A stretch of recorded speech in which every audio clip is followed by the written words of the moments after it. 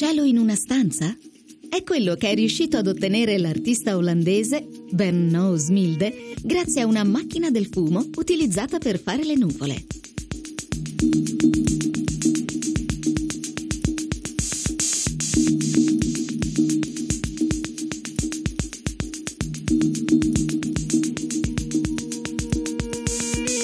L'abilità dell'artista sta nel cercare le condizioni ottimali di umidità e luce.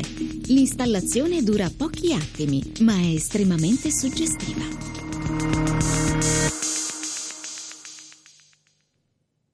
Apriamo ora la nostra lunga pagina dedicata allo spazio e a quello che il cielo ci riserverà nel 2013. Partiamo da una notizia. Sono stati individuati due giganteschi geyser, getti di energia magnetica provenienti dal centro della nostra galassia. Queste enormi fontane di raggi gamma eruttano gas ed energia pari a un milione di volte l'energia liberata dall'esplosione di una supernova e danno quindi origine stellare. Ha curato per noi il prossimo servizio Caterina Leo.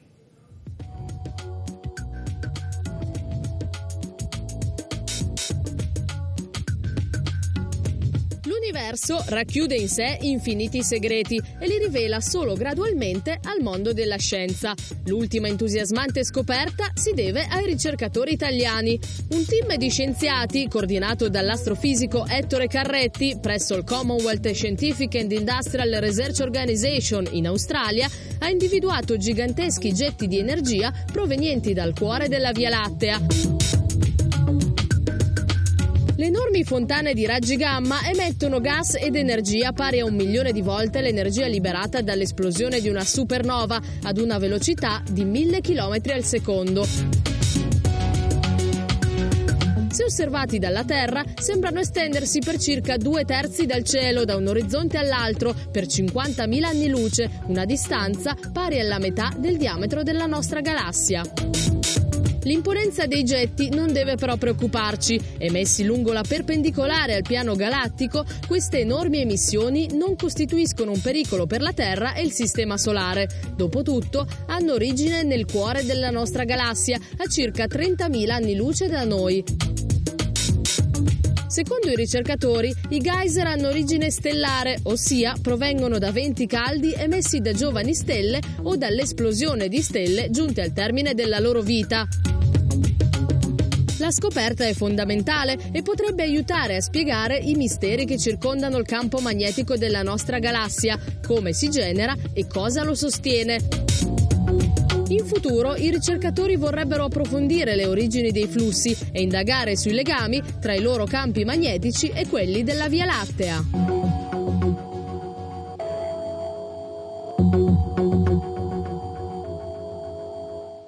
E anche quest'anno il cielo è pronto a regalarci straordinarie emozioni, dagli asteroidi alle comete, dalla danza dei pianeti alle ben note stelle cadenti.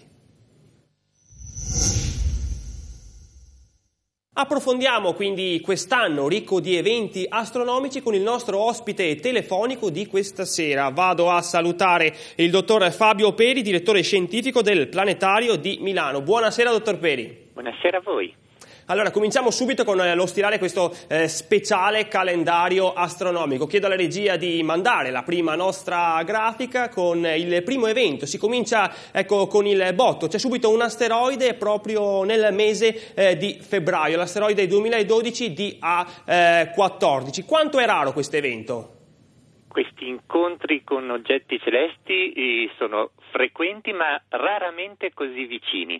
Questo asteroide ci passerà circa 30.000 km, che è pochissimo in termini spaziali, anche se lontanissimo dalla Terra, 30.000 km è lontano, quindi ci sfiorerà. Però eh, è bello pensare che eh, abbiamo degli incontri con questi oggetti. Meglio non averli troppo ravvicinati, questo farebbe piuttosto male. Però finché passano a questa distanza c'è qualche speranza con un telescopietto di poterli vedere. Occhio nudo purtroppo non lo si vedrà passare. 30.000 km è tanto per noi uomini, poco perché è un decimo a distanza Terra-Luna, quindi è abbastanza vicino. Ok, per fortuna quindi escludiamo assolutamente le possibilità eh, di impatto con la, la, no, il nostro pianeta, sarà un solo un bello spettacolo, ecco, per chi possiede magari eh, degli strumenti appropriati. Poi ehm, continueremo ancora meglio perché c'è il passaggio della prima cometa, la seconda la vedremo tra poco, ma possiamo vedere con eh, il cartello, ecco, il passaggio che avverrà appunto nel mese eh, di marzo, questa cometa che forse sarà anche visibile a occhio nudo. Beh, noi ci speriamo tantissimo perché le comete sono sempre un bello spettacolo. Questa cometa passerà nel punto più vicino al Sole il 10 di marzo e il momento migliore di vedere le comete è appena dopo il passaggio vicino al Sole, perché è il Sole che le accende, possiamo dirlo così, è, è a colpa sua. Più passano vicine, più l'attività si spera sia forte e più noi le vedremo dalla Terra.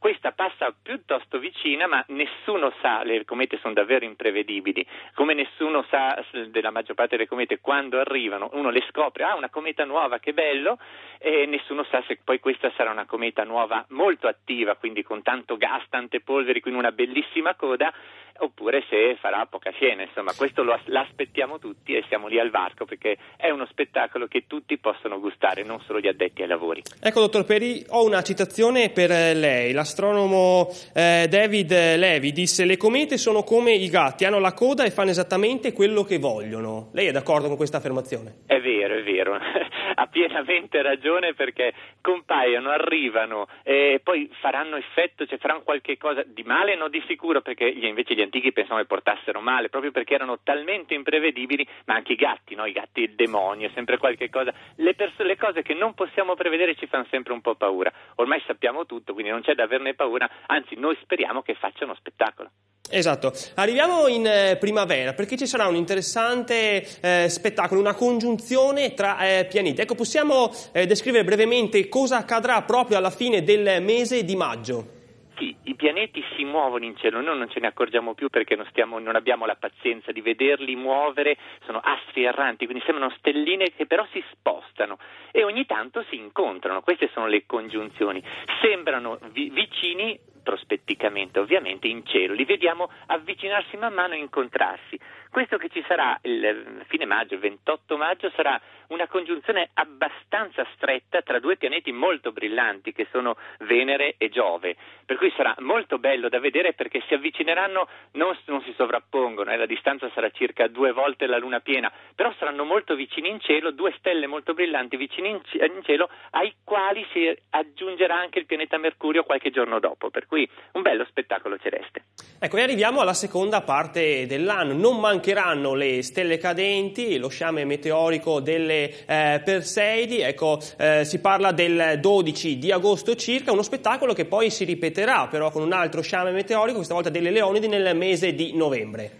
Esatto, io poi soprattutto dico è vero che il massimo è previsto per il 12 agosto per le Perseidi e tra l'altro ci sarà la luna al primo quarto, quindi tramonta presto, quindi abbiamo tutta la notte per osservarli, ma consiglio a tutti, non è una notte sola, sono due o tre notti prima, due o tre notti dopo. Lì c'è previsto il massimo, ma guardatelo di più perché sennò ve le perdete. E non è l'unico, questo è uno sciame, si chiama proprio sciami meteorici perché in quei giorni la Terra attraversa le polveri di un'antica cometa ma non è l'unica. In, in novembre ci sono questo sciame delle Leonidi perché sembrano arrivare dalla costellazione del Leone ed è uno degli sciami che ha dato più spettacolo, alle volte tantissimi, cioè stiamo parlando di centinaia di migliaia di, come, di, effetti di stelle cadenti all'ora, quindi capite che sembra che il cielo cada giù. Quest'anno non è previsto un granché anche perché c'è la luna piena che disturberà un po', per cui non, non, daranno così spettacolo, ma è sempre una bellissima cosa da vedere. Quindi non perdete, le stelle cadenti ci sono in realtà tutto l'anno. Ci sono dei periodi in cui ce n'è di più, oppure le condizioni sono talmente belle come in agosto, per cui uno più facilmente sta lì a guardarle. Ecco, e quasi sicuramente darà spettacolo eh, l'ultima cometa, la cometa Ison, che arriverà eh, alla fine di novembre, ma sarà visibile anche per il mese di dicembre. Ecco, cos'ha di particolare questo passaggio? Ah, questa è una cometa che tutti davvero uh, ci scommettiamo tanto perché passa particolarmente vicino al Sole. Quindi se il Sole non la distrugge, perché passando così vicini i rischi ci sono che si spezzi, le comete non sono cose solide, sono uh, agglomerati tipo di ghiaia e ghiaccio tenuti insieme un po' dalla gravità, un po' proprio dal ghiaccio che li tiene lì. Per cui passando così vicino al Sole come farà questa, Eh, sicuramente darà spettacolo, questo ce l'aspettiamo tutti, addirittura ci sono previsioni che potrebbe diventare brillante come la luna piena, quindi decisamente visibile, però potrebbe essere anche l'ultimo suo passaggio perché se il Sole la distrugge è costretta, non, non, non, la vedremo mai più. È vero che questa cometa prima di ritornare sarebbe una cosa folle, qui parliamo di centinaia di migliaia di anni, per cui è l'unica volta che la vediamo, ma noi speriamo che passi indenne e che ci dia la soddisfazione di vedere una cometa magari come la Hill Bop del 97 che tutti ancora si ricordano. E quindi un appuntamento veramente imperdibile quello di eh, fine anno. Però, dottore Peri, non abbiamo visto eclissi nel nostro eh, calendario. Ecco perché non ce ne saranno? No, di eclissi ce ne sono sempre, come quest'anno addirittura ce n'è due di sole e tre di luna. Il guaio delle eclissi però è essere nel posto giusto al momento giusto. Non sempre sono visibili. Le eclissi di sole, esempio, di quest'anno dall'Italia non saranno minimamente visibili. Se uno ha eh, tempo e voglia eh, e soprattutto soldi, può andarsi a vedere la prima che sarà in maggio, però deve andare in Australia, e poi ce ne sarà un'altra eh, che, che sarà visibile dall'Africa, quindi se uno vuole il 3 novembre c'è un'eclisse totale, andate in Africa, ve la guardate se potete è bellissimo vederla. Dall'Italia no. E quelle di Luna? Eh, quelle di Luna Ce n'è una che la, la seconda mh, mm, proprio non si riuscirà a vedere perché tramonta subito la luna e quindi non la vediamo. Ma il guaio è che sono eclissi di penombra, per cui non entrano nel cono d'ombra della Terra, rimangono un po' all'esterno, per cui è vero, se uno sta attento vedrà il bordo queste, della luna leggermente offuscato, ma potrebbe essere anche una nuvoletta che passa di lì, quindi eh, se uno non sa che c'è eh, non, non, se ne accorge praticamente, però se per caso uno eh, volesse vederla 25 aprile, 25 5 maggio e 18 ottobre, quindi le date le trovate, poi cercate su internet, trovate sicuramente tutte, certo. non danno troppo spettacolo. Ecco, ecco dottor Peri, ehm, oltre a questi eventi, senza spostare il naso in su, brevemente perché siamo in chiusura, quali altri, eh, quali altri eventi appunto ci aspettano durante l'anno, sempre dal punto di vista spaziale? Beh, eh, abbiamo uh, due eh, esperimenti che noi speriamo di avere i risultati al più presto e quindi di essere soddisfatti. Uno è la sonda arrivata su Marte, Curiosity, sta bene, stiamo testando tutti gli strumenti, sembra che tutto funzioni e Curiosity dovrebbe darci finalmente una risposta se ci sono intanto molecole organiche, che non vuol dire vita, vuol dire le basi della vita, ma noi ovviamente speriamo che magari possa, chi lo sa, trovare qualche eh, traccia di batteri fossili sarebbe bellissimo, sarebbe, aprirebbe un nuovo capitolo della ricerca, della esobiologia. Se non troverà niente, va bene, scopriremo qualcosa di più lo stesso del passato di, que- di Marte soprattutto del suo contenuto. È una sonda fantastica, funziona tutto bene e ci darà risultati. L'altra, è, un, sono un po' di parte perché è una collaborazione italiana, è il satellite Planck, è stato mandato su, stato, ormai funziona, i dati sono stati raccolti, stiamo mettendo a posto i dati e soprattutto una collaborazione addirittura dell'Università di Milano, quindi mi sento particolarmente di, di parte dicono che sono fantastici, in aprile ci sarà la conferenza stampa e questi dati ci diranno come è fatto l'universo bambino, cioè avremo uh, qualche cosa, una foto del, dell'universo quando aveva appena, si fa per dire, 300-400 mila anni, quindi davvero un universo piccolo, ma dentro quell'universo c'è tutto quello che adesso l'universo è. Quindi scopriremo qualche segreto in più della nostra origine e questo Perfetto. è sempre bello. Grazie dottor Peri, sicuramente prometto sarà attenta a questi eventi, non solo riguardo i dati di Curiosity di Planck, ma anche riguardo a tutti gli eventi astronomici che abbiamo citato in precedenza. Io la ringrazio del suo intervento, Fabio Peri, direttore scientifico del Planetario di Milano. Eh, buona serata e soprattutto buon lavoro. Buona serata a voi e venite a trovarmi in planetario. Ciao Certamente, tutti. grazie. Per tutte le altre questioni, per ogni domanda, mi raccomando, scriveteci al nostro indirizzo di posta elettronica meteo-class.it.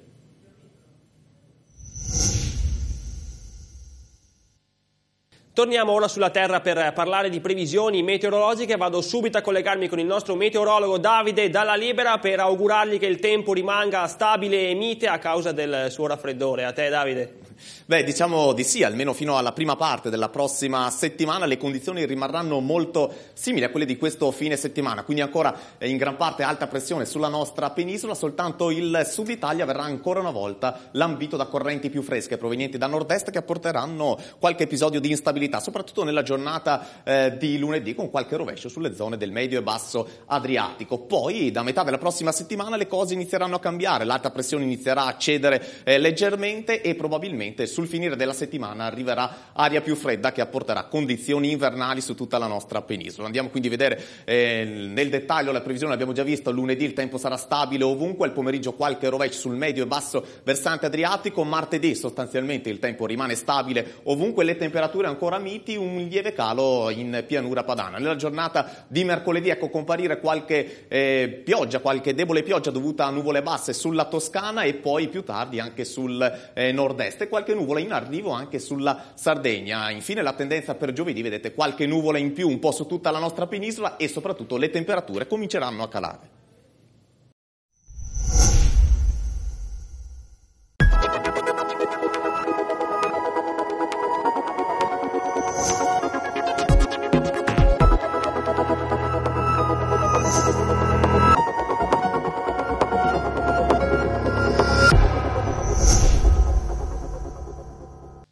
Arrivato il momento di uno spazio artistico ovviamente legato a fattori meteorologici. Parliamo dell'arte di creare, modellare e scolpire con il ghiaccio. Ci sono diversi appuntamenti. Da domani al via il Festival delle sculture di ghiaccio ad Harbin in Cina. In Ucraina invece è presente una mostra di fiori di ghiaccio. La redazione di Prometeo si è ispirata a un famoso film di Tim, Burton del 1990. È Edoardo Mani di Forbice. Vediamo insieme il servizio.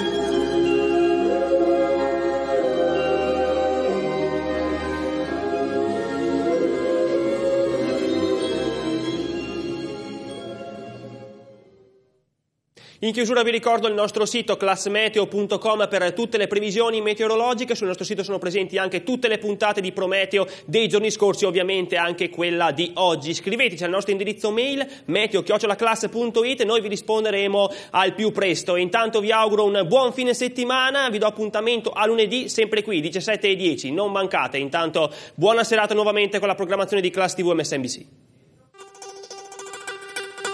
È il verde il colore del XXI secolo. Ecco una panoramica completa sui lavori più verdi in Italia. Ne parliamo lunedì con Marco Gisotti, autore di Guida ai Green Jobs.